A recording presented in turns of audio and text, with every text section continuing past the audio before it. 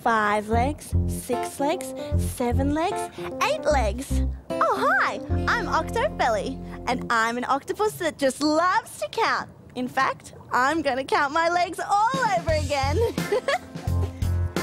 There's so much to count when you're under the sea. There's so much to count when you're Octobelly. Are you ready to count under the sea from number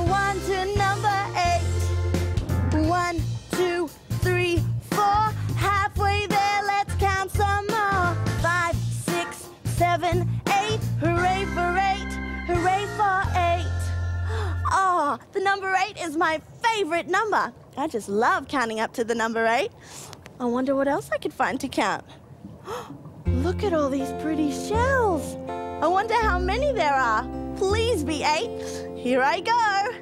One, two, three, four, five, six, seven, eight.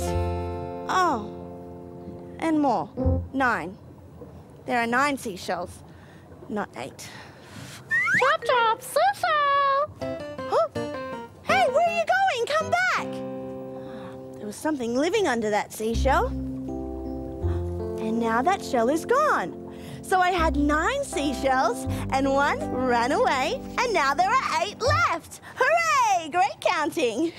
so I've counted my legs, and I've counted all the seashells. I wonder what else I could find to count.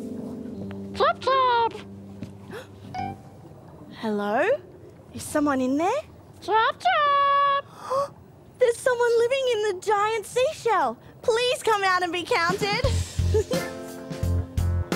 There's so much to count when you're under the sea. There's so much to count when you're Octobelly. Under the sea from number one to number eight?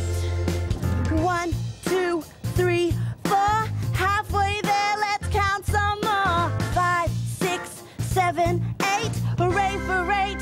Hooray for eight! There were fish living in the giant seashell. Eight glorious fish. Hey, fish, come back. Let me count you again.